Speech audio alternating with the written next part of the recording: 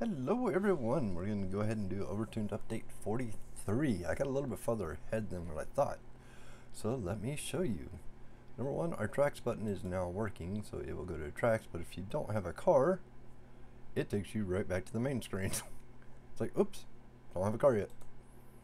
So we're going to go into the garage, and we have the cars, the same three I had earlier, but there's been a little bit more done.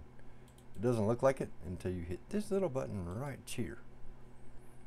And then you can upgrade your vehicles. You got your motor, your wheels, your speed, your life, and your brakes. They're all different for all the cars. Um, you won't know what these are until you buy the car.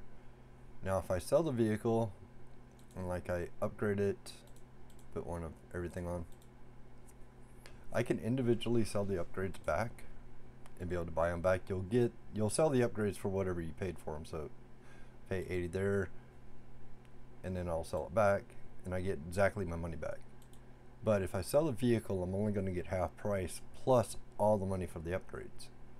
So if I sell the vehicle, hey, I made a little bit of money because of the upgrades. But now I can go through and buy this one or buy that one. So there's, a, I mean, it's a little bit of an upgrade bug, but each of the upgrades are different, and I left that bug in intentionally to show you. So now that I bought this vehicle, I need to select it before I go to the tracks.